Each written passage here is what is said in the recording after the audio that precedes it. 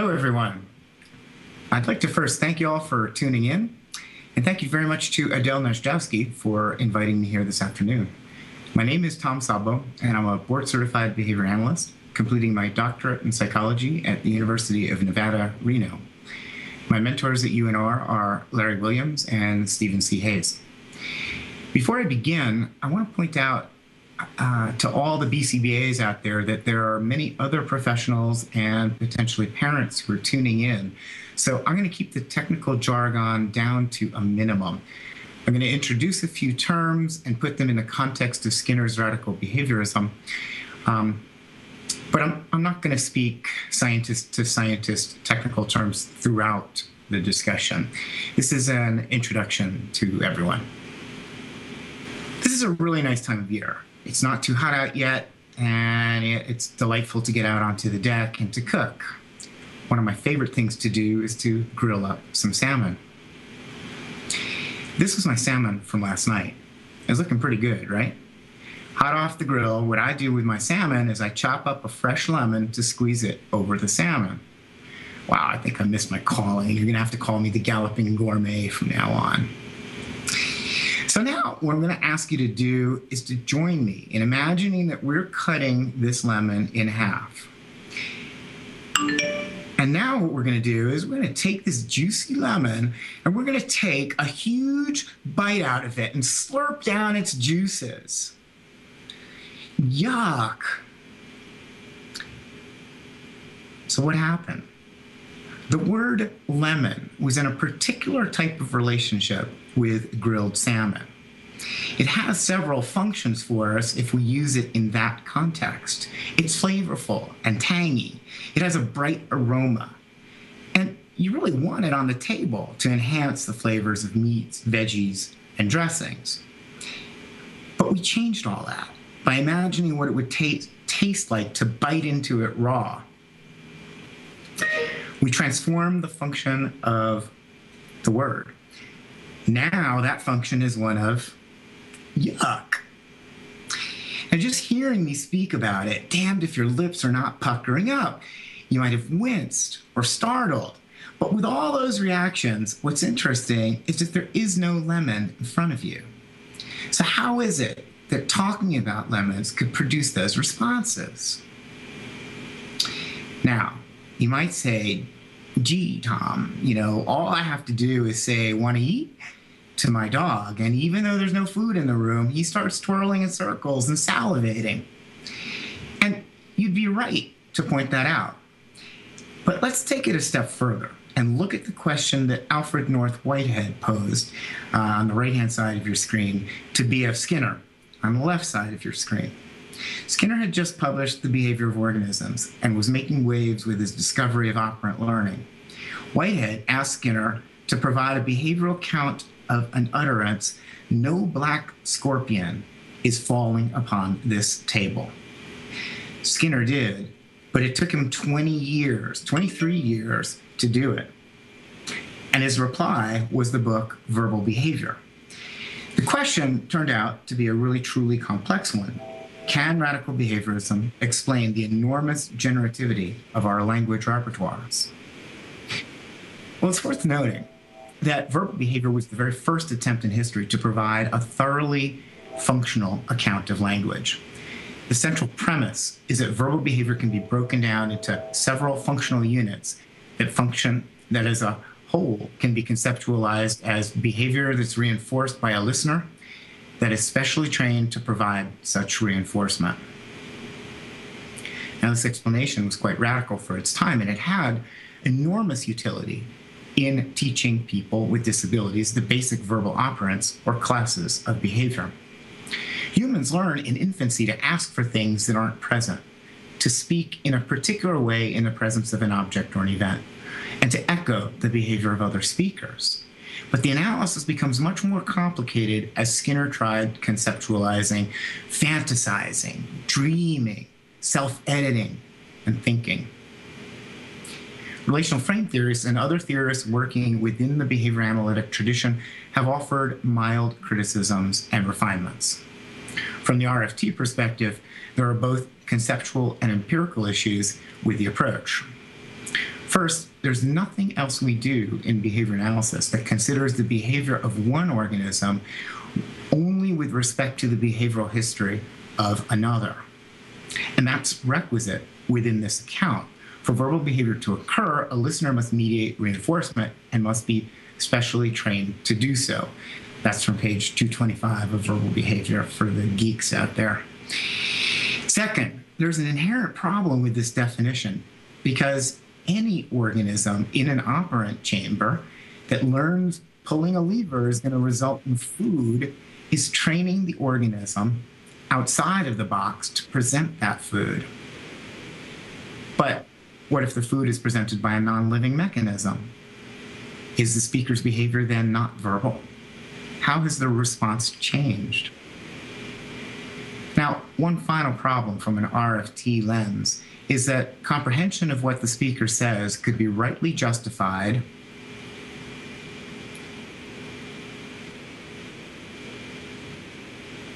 as a response to. But that's not considered verbal behavior under Skinner's definition. These comprehending responses are what Linda Hayes would call subtle, unapparent, but observable under certain conditions and worthy of a behavioral analysis. Now, an empirical problem worth noting is that very few studies have been conducted on these more complex forms of behavior using only Skinner's foundation. In other words, it has not led to a robust research base that's helping people to live more effectively. And that was always the goal. But let me give you a, a, quick example of the difficulties. A few weeks ago, I was in Los Angeles, and my friend Doug, uh, with my friend Doug, and we ate at a restaurant. Getting up to exit, I noticed Doug was about to leave his bag behind, and so I said to him, Hey, Doug, I imagine uh, you're not planning to leave behind that really nice black. And Doug finished off the sentence, but my bag. Now, using Skinner's technical terms, and let me first apologize to the non behavior analysts in the group. What was my utterance? Was it a mand for him to pick up his bag? A disguised mand? Or was my behavior under the control of a discriminative stimulus and therefore a tact? Was it an intraverbal in that it required a very specific response, the word bag? An autoclitic, a descriptive autoclitic? Was, what, what was it, an, a descriptive autoclitic? I said it was a really nice bag. Or a qualifying autoclitic? I said, I imagine, right? So was my utterance an intraverbal mand tact or a descriptive qualifying autoclitical tact disguised as a mand intraverbal? You get the point, right? It's cool to have these functional units, except they're not so functional. I don't know how teaching them is gonna is gonna improve my kid's sense of irony, the capacity to dream big dreams, interpret ambiguous text, or respond flexibly to novel situations after having developed a very rigidly stated rule. So, at the time that these conceptual problems with verbal behavior were being explored, some very useful research was being conducted on rule governance. Take, for example, Hayes, Brownstein, Zettle, Rosenfarb, and Korn, 1986.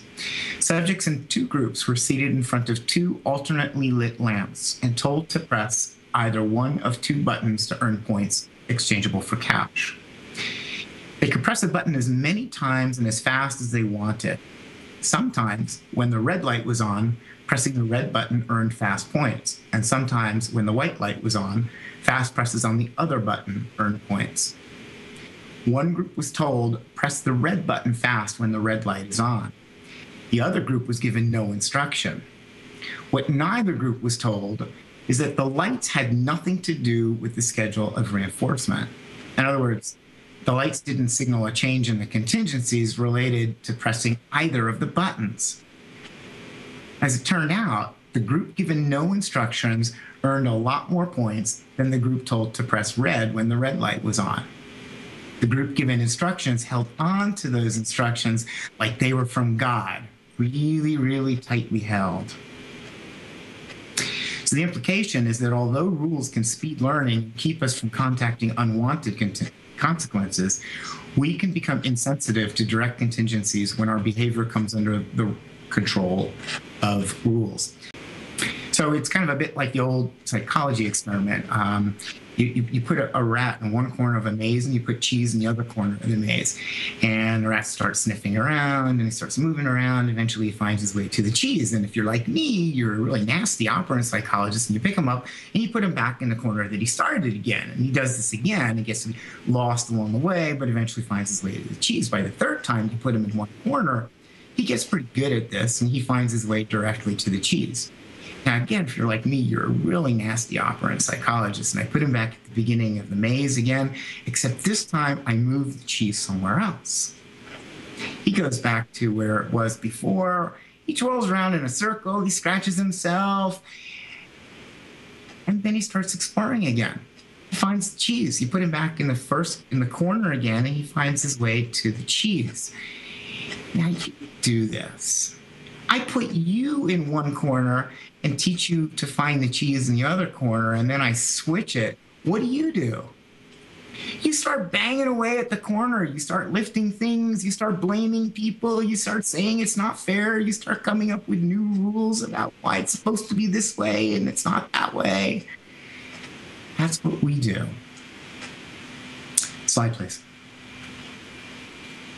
So, at the same time that research on rule governance was progressing, Sidman developed a strategy for teaching reading that made use of mathematical set theory.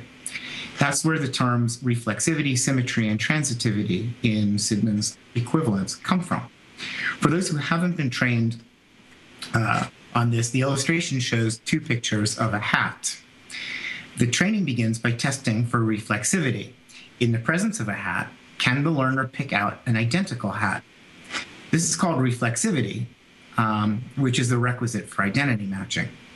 But if you then teach the physical hat is the same as the spoken word hat, which is illustrated in the bottom left corner of your screen, a verbal learner is found to be able to respond such that when someone says hat, he will look at or point to the physical hat. The blue arrows in this diagram are what's taught, and the red arrows are learned without direct teaching. That's called symmetry, a sort of bidirectional equality. So next you teach the learner that the printed word HAT, the bottom right hand corner of the illustration, is the same as the physical hat. And once again, the learner is observed to respond with symmetry, such that when presented with the written word hat, uh, he looks at or points to the physical hat. What's really cool about this phenomenon is that without any further instruction, the learner begins to respond to a relationship of equivalence between the spoken word and the written text. This is called transitivity. Thus, four relations are learned after teaching only two. Now think about it. That's a pretty economical way to teach. So, since this groundbreaking research began, a number of groups within behavior analysis have attempted to develop a theory of how stimulus equivalence comes about. These include Horne and Lowe's naming hypothesis, McIlvane and Dubé's stimulus topography coherence, and relational frame theory. The RFT approach is simple, really. We're essentially saying that language and cognition are relational responding that's learned through multiple exemplar training and comes under control of contextual cues that specify either the type of relation or the function of the relation. And this type of relational response can be arbitrarily applied. Now, that's a mouthful, and what it means is really important. The things that get related don't have to be ever, ever, ever related before. You can pick up any two things or events, and if you're verbally able, you can show how they're the same, how one is the grandfather of another, how one is superior to the other, how they're both members of a class of even bigger things, etc. In other words, the things that get related by those who are verbally competent can be completely physically dissimilar and don't have to exist in time and space. In other words, the functions of one stimulus alters or transforms the functions of another stimulus in accordance with the derived relation between the two without additional training. Now, that's still an awful lot to digest, so I'm going to unpack that a bit further in the next 10 minutes. This transformation of stimulus function thing is so important that I'd say it's at the heart of the analysis. Before I explain, let me point out that there are two general contexts that we speak about. One is a non arbitrary context. That's when stimuli of interest are topographically or physically related, like a big tree versus a small tree. Second, we talk about arbitrary contexts, these involve verbal stimuli that have no physical relationship to each other. So I can compare a toothpick to the moon or to the ampersand symbol on my keyboard. That's totally arbitrary. So when we talk about transformation of stimulus function, in its most elemental and non arbitrary form, there's nothing new here. We see it in respondent conditioning. An unconditional stimulus produces an unconditional response. But when a neutral stimulus is correlated repeatedly with an unconditional stimulus, that produces a response, the formally neutral stimulus becomes correlated with the same response.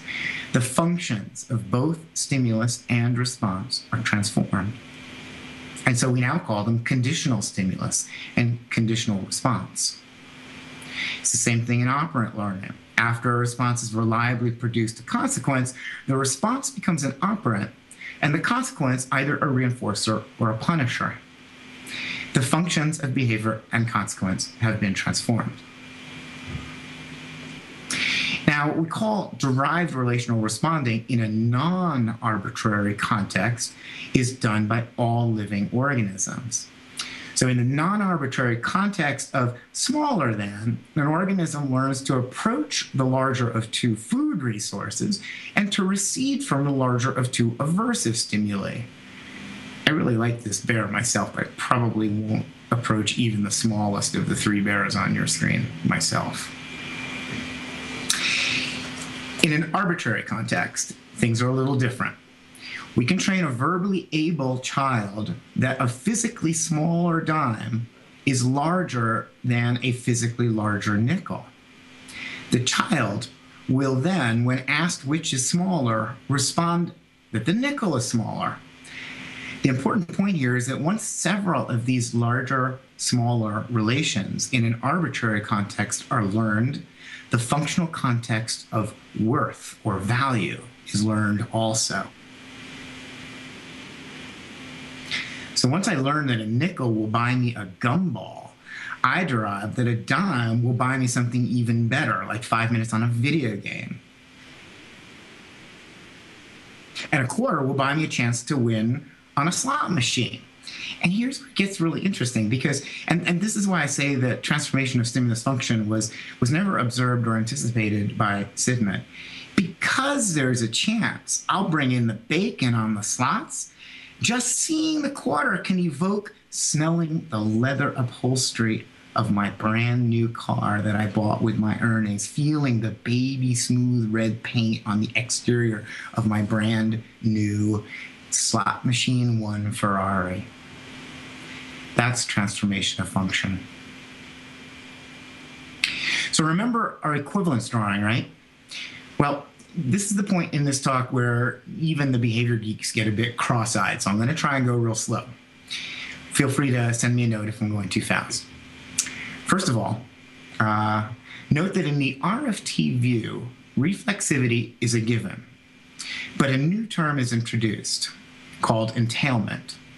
It's a clunky term, and maybe it should be replaced with something less cumbersome. Um, but we're not using the terms reflexivity, symmetry, and transitivity for a reason. The terms reflexivity, symmetry, and transitivity connote point to point correspondence in equivalence relations. But equivalence relations are only one type of relation that can be imagined. Take, for example, the following scenario. In 2007, uh, Dougher, Hamilton, Fink, and Harrington did this study where undergrads were trained to establish arbitrary relational functions for three abstract visual stimuli. So in my illustration, I'm showing you A, B, and C, but what they are responding to were figures that had no actual meaning, like wingdings in your office products font list. They're arbitrary stimuli. In the presence of A, B, and C samples, participants were trained to select the smallest, middle, and largest of a series of comparison arrays, respectively. The B stimulus was then used to train a steady rate of keyboard pressing for the A, which is the smaller, and C, which I should choose the largest, stimuli were presented. Participants pressed slower to A and faster to C. They had derived that C is more than B and B is more than A. And these untrained relations we call entailed. That is, they are a necessary consequence of the training that A is less than B and B is less than C. In fact, they're mutually entailed, which means that the relationship, whatever type of relationship you're examining, and in this exam- example, we're talking about a comparative frame of relations, there's an arrow going in one direction and an arrow going in the opposite direction. The participants also derived more and less relations between the A and C buttons. Note that this is all very similar to equivalence so far. But instead of using the mathematical term for transitive equivalence relations, we use the term combinatorial entailment. This means that the AC relations, just like the untrained relations between AB and BC, are the necessary consequence of the two trained relations. But here we're observing the combined effects of the two trained relations, and there may or may not be relations of equivalence, hence combinatorial entailment. Now here's where Dougher's experiment gets interesting. At this point, B was paired with a mild shock in a Pavlovian procedure with skin conductance change as the dependent variable. In other words, we're measuring sweat. When presented with A and C, six of the eight experimental participants showed smaller skin conductance to changes uh, to A and larger skin conductance changes to C than to B. We call this transformation of stimulus function. In the equivalence in RFT literatures, transfer of function tends to be used when untrained function acquisition is based on stimulus equivalence and the trained and resulting untrained functions are the same. Transformation of stimulus function, on the other hand, tends to be used when untrained function acquisition is based on stimulus relations other than equivalence, such as the comparative frames of more or less in this example. I think it's also important to note that uh, multiple exemplar training was used to establish the samples as relational cues in the Dougher 2007 experiment. So simply put, framing is putting relations between stimuli into different classes or frames. There are several that have been identified thus far, and I apologize for the busyness of this slide. Frames of coordination are equivalence frames. Thus, equivalence is the phenomena that is explained by RFT as a theory as coordinative relational framing. Framing in terms of coordination and in terms of distinction or differences both appear to be necessary repertoires for a learner to have in order to be able to frame in terms of opposition, hierarchy, causality, and temporality. Most challenging repertoire, and the one that could be the focus of a lot of important work to come in the autism community involves deictic framing. A deictic is a word that specifies identity, spatial, or temporal location from one particular perspective. Deictic framing involves speaking from a locus of self, a perspective that's situated in time and space, but flexible enough to evaluate what something looks like or would look like from a different perspective that is, a different time space person. What's common to all of these ways of framing events relationally is that they mostly don't need to be trained in typically developing children, and they occur at an exponential rate. Let me give you an example. Let's say I buy a new car and I enjoy driving it, but I move from Reno to a big city where I'm just constantly stuck in traffic. I begin to frame driving in coordination with getting stuck in traffic. Walking really gets me to and from my various meetings just as fast and with less hassle. So walking for me is now in a frame of opposition to being in a, in a traffic. And being in my car. And because walking is healthy, I begin framing it equivalently with going for hikes on my favorite trails. And I begin to frame driving, which I still might enjoy, as something that has lesser value to me than being healthy. And that's when I begin to be regularly mindful, so to speak, of the probability that if I keep driving all the time instead of walking or taking my bike, then I'm likely to become obese. A causal frame. So you can see how rapidly this all happens, and not necessarily in that particular order. It's quite useful, really. It's obviously a repertoire that has conferred our species with evolutionary advantages. But there's a dark side to framing relationally, and that's the stuff of another webinar on acceptance, commitment, and resilience. I'm going to shift gears now. Um, and I'm going to talk about how this can be applied with kids with autism and other related disorders. Before I start, though, let me point out that Rehfeldt and Barnes Holmes have edited an excellent book on RFT applications for learners with autism and developmental disabilities. Additionally, there's the new RFT book edited by Dymond and Roche, uh, and that has several chapters of interest to this community. But I want to highlight a study that's worth checking out. It's a small, tightly designed study that came out of CARD. Angela Persicke and colleagues in the Autism Research Group. And uh, I need to pull up a slide, so give me a moment.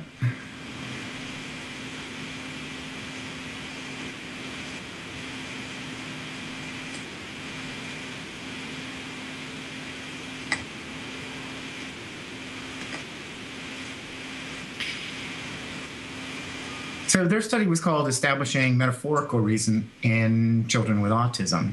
And uh, uh, they point out that kids with autism have tremendous difficulty with non literal language. Um, the language of the schoolyard is just filled with sarcasm and irony and uh, metaphor.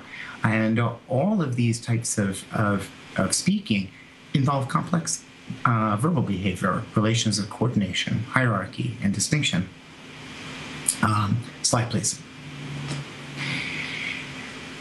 Uh, we're up to the establishing metaphor slide, Emily. I might not have told you to switch before. Metaphors are everywhere in our verbal communities. They're a very efficient shorthand for describing things that are less familiar to other people. And you can imagine how devastating it must be to a kid who doesn't acquire this repertoire. He's not able to follow his teachers who use sarcasm. He's not able to play effectively with his brothers and sisters or explain things effectively to other people.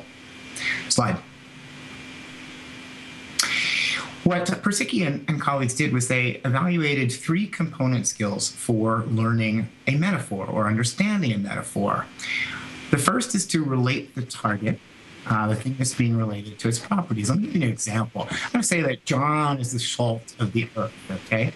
And picture John. He's tall, he's buck-toothed, he helps people see the good things in life. That's why you know, it's salt. Salt, we're saying salt of the earth. Salt is granular, it's a mineral, and it brings out the good taste in food.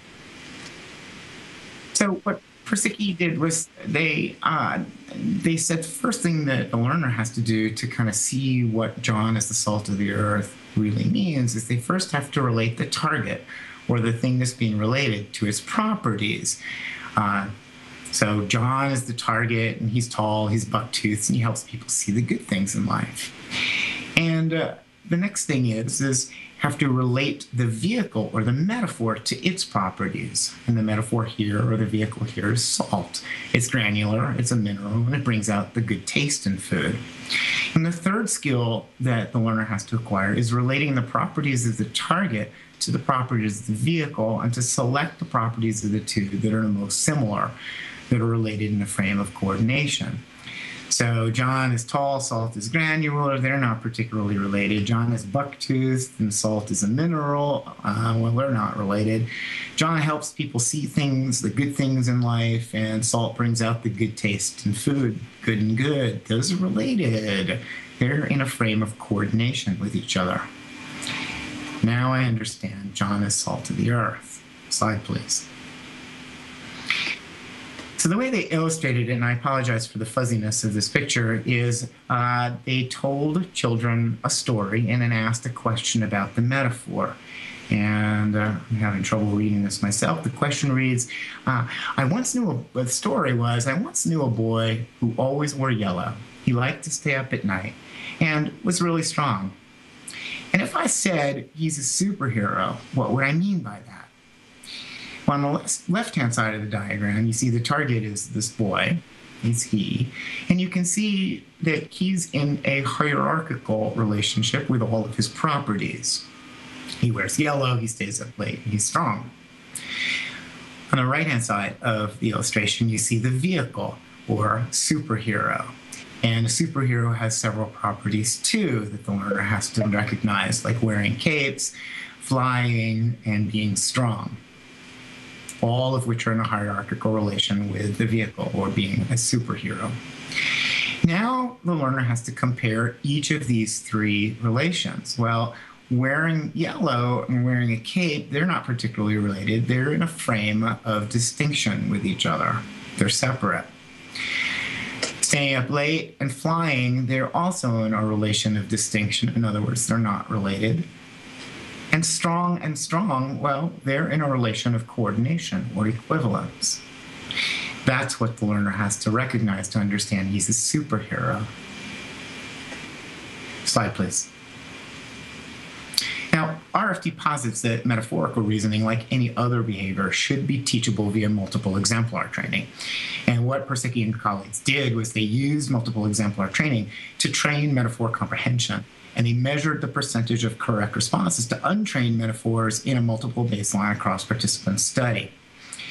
Now, they added something in. So, kids who didn't respond to the correct stimulus discriminations during multiple exemplar training were given additional assistance in the form of visual aids.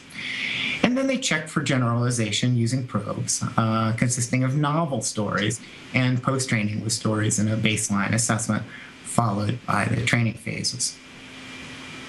Slide, please. And these are their data. Notice that for three participants, we have Sheldon, Howard, and Raj. Uh, during baseline, uh, illustrated with closed black squares, neither of the three kids were able to answer comprehension questions correctly. During multiple exemplar training, there were two phases uh, training stories with training questions that had prompting sequences, illustrated by the um, closed back triangles, and uh, uh, probes uh, using novel stories were illustrated by the open white squares. And as you can see, Sheldon didn't get very far with that in the probes, and uh, neither did Howard. Raj, on the other hand, with just multiple exemplar training, was able to meet the performance criteria specified and moved on to post training. For Howard and for Sheldon, the second step, multiple exemplar training plus visual aids, were used to bring their performance up to criterion. And as you can see, that worked just fine. Post training probes and uh, uh, generalization probes showed that the learning maintained, at least for a brief while.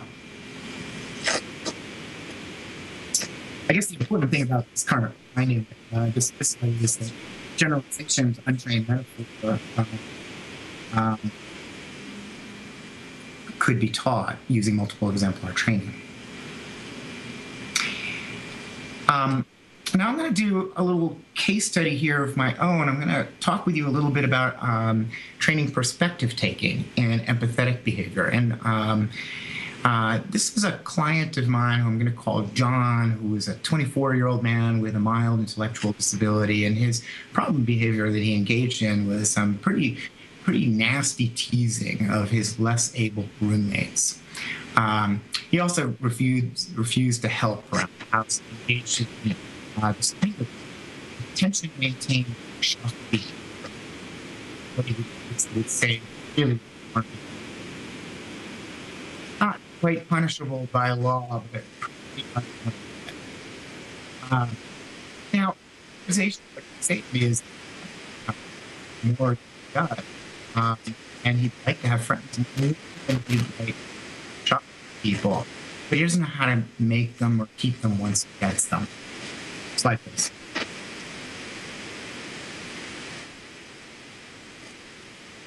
So, uh, I reviewed the social skills training literature and found that it's pretty weak. Uh, it's weak for a variety of different reasons, uh, largely because uh, a lot of social skills training takes place in a vacuum and there's not enough exposure. John, on the other hand, was getting lots and lots of exposure. Uh, so he didn't need any more exposure. Uh, and I started looking at the perspective taking literature. And uh, from an RFT perspective, perspective taking involves what I was referring to earlier as deictic framing the framing of I and you, he and there, and and, and relations in all combinations. Um, now, up until this point, we've been using differential reinforcement and replacement behavior training for John, and we've gotten uh, fair of results. But this last little bit of problem behavior was getting into successfully transitioning out of having me as his behavior analyst. So we added in perspective taking training as an add on to the existing protocol. And the question was could we teach the discrimination of emotions with a focus on perspective taking relations using direct instruction and precision teaching? And our corollary question was would this acquisition target have an effect on John's problem behavior?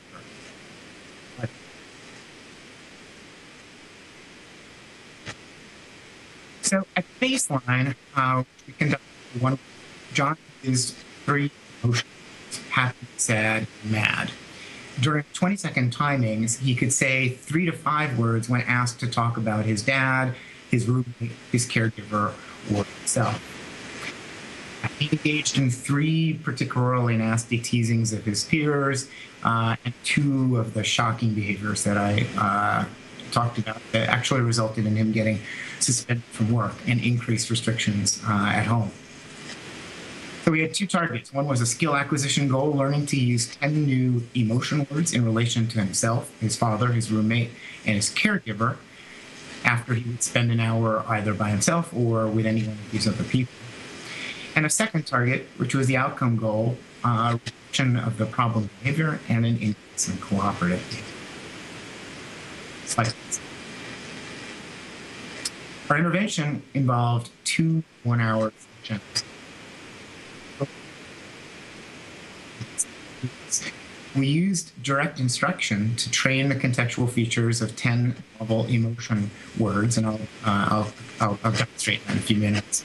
And the materials that we used were flashcards with images of people displaying various emotions in particular contexts multiple exemplar training to teach di- relations with respect to emotions of self and others, and precision teaching methods to increase and to measure fluency.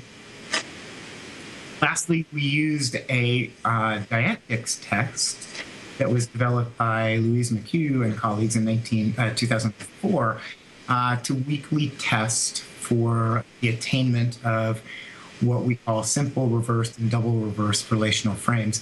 I'm not going to go into that because it's not the focus of this talk per se right now, but this is a way of evaluating whether the repertoire the perspective taking that we call the framing has been acquired. Slide. So these three images are examples of some of the uh, flashcards that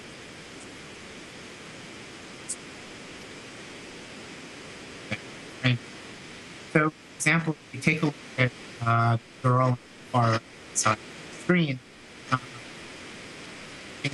she this. Say, this girl is surprised. Tell her eyes are wide open, her mouth is wide open. How can you tell she's surprised? Very good. What is it about her eyes? Excellent. What is it about her mouth? No, her mouth is wide open. That's how you can tell she's really surprised. That's example of uh, reference.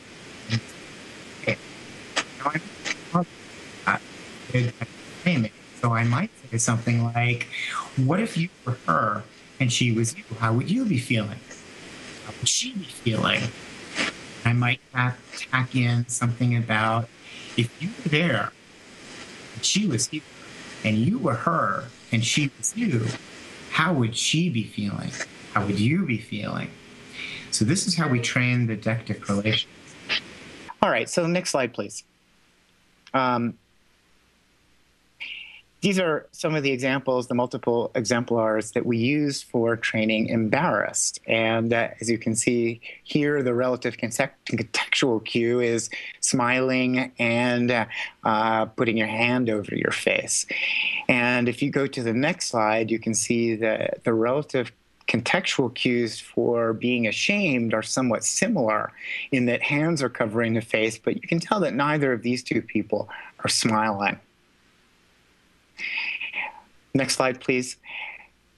And you can make out that these two people are proud, and we teach using the same thing, discrete trial, uh, um, direct instruction.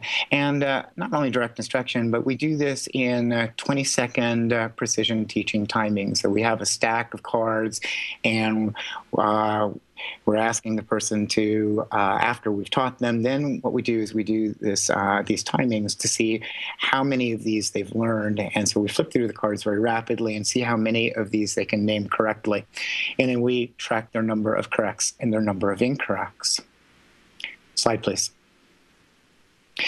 Here's a slide that shows feeling unwanted. And uh, um, we had several more of these slides that tapped into some uh, more teasing related and uh, um, problem behavior related emotions that would show up for people.